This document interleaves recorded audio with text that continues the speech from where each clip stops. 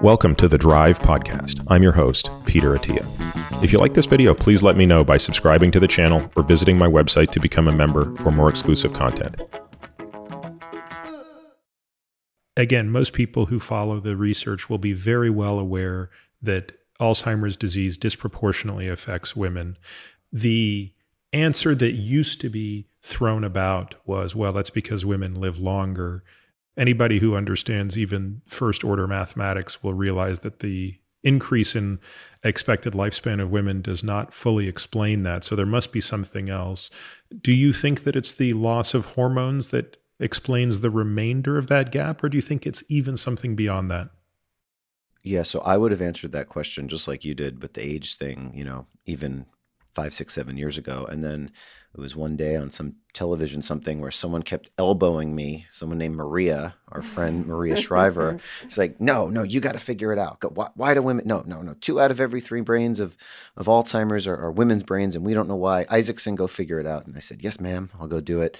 I think I understand much better now. And in the category of likelihood is during the perimenopause transition, there are bioenergetic shifts in the brain that absolutely can predispose a woman to accelerated Alzheimer's pathology. And we call it the window of opportunity. During the perimenopause transition, if we can intervene the right way at the right time in the right woman, I believe that we can negate a reasonable amount, if not much of, careful with my words, of the negative impact of this precipitous drop of estrogen, which I believe is neuroprotective. Again, the right type of estrogen, the right whatever. The natural estrogen, I believe, is protective. Whether we get into hormone replacement, that could you know be a different part of the conversation, and, and which types and what this and what that. But the bioenergetic shifts during the perimenopause transition. You know, why do people have perimenopause? What are the symptoms? They get hot flashes, right? Night sweats. We can talk about that. Oh boy, night sweats. I don't know what you're talking about. No, not at all. Not at all. Irritability, never. No, no, never. so all of these different things. It's a brain disease. Perimenopause is a brain condition. It's those are those are manifestations of of the hormone withdrawal in the brain, and those are the symptoms that you know. Brain fog. Like I used to think. I'll just be very frank. I was completely dead wrong. Like women that had perimenopause and they had this brain fog thing. Ah, maybe they're just not sleeping right. Maybe well, no, they're not sleeping right, and their their sleep is interrupted because of this bioenergetic shift. And heck yeah, you're going to have brain fog, and now we know what it looks like. Um, I hate that term brain fog. It's so non-specific. You know, it's problems with processing speed and attention, and that's how I think of it. But perimenopause is a brain disease, so I think that's that's really important. And this bioenergetic shift is like it's like if you want to fast forward brain aging, like in a woman, in it, sorry, in a susceptible woman, because not all women are created equal, an E44 woman, a surgical menopause, meaning taking out the ovaries with the with the with the uterus. Wow, that's that could do it. Now, I, I don't want to say this in all cases. It again depends on the individual person, but perimenopause transition is a huge unrealized risk factor for progression to dementia in an Alzheimer's susceptible woman. And just be careful and listen to those words because just because you're going through perimenopause does not mean you're going to get Alzheimer's, but in susceptible people, it is. And and I really believe that from a precision medicine perspective, we can intervene with specific hormones in specific ways. Is it a patch? Is it a gel? Is it a you know all these different things? Do you need estrogen? What type of estrogen? From horses? From you know from from natural? From what about progesterone? When do we add it? And these are, these are things that I talk I talk to an OBGYN every other week now. I'm a neurologist. What the heck? So so I could talk about this for a long time, but just just know that the the this hormone thing is real. That's where you think the bulk of it is then Richard is it's less about the age gap or the age advantage like you know the sort of lifespan advantage women have and you think it's the elephant in the room is this enormous hormonal shift.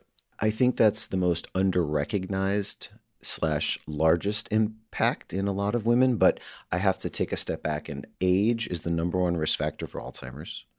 Women plus age, so a 65 year old woman with the ApoE4 with at least one or two ApoE4 variants, that's like the perfect storm. Plus, you add in this, you know, the perimenopause transition.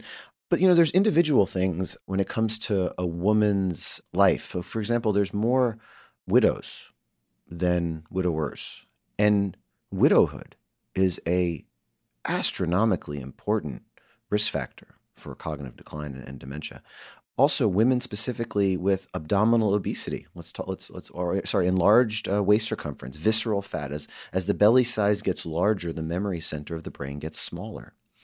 And we now know that in women specifically, women have a 39% increased risk of dementia when they have, you know, enlarged waist circumferences over a certain degree. And, and they're impacted more so than men. When I think of a woman and I think of body composition, I'm really paying attention to body fat. And I'm not just paying attention, like weight, I don't care about. For women, I care about what's percent body fat and where is the fat? Is it visceral or is it otherwise? Cellulite on the thighs, I don't care. Oh, thank God. Belly fat, yeah, thank you. thank you. Great. You don't have cellulite on your thighs. You're you're on the Attia Isaacson ah, program. You're, Thank goodness this is a podcast. No one you can see beat you beat me in in the spin class. You were you were a did. hoss in there. I did. That was impressive. I was dying. So where the fat is is key. Like in men, I really believe, and I think evidence is, is coming around to support this, but muscle mass in men is more important as opposed to body fat, especially visceral fat in women, as a specific individual sex specific risk factor towards Alzheimer's. So I was going to ask you about that, Richard. Do you think that part of the sex difference is that men have more lean mass than women? So it's that they have greater capacity for glucose disposal and that that could be an independent predictor beyond the loss of hormones?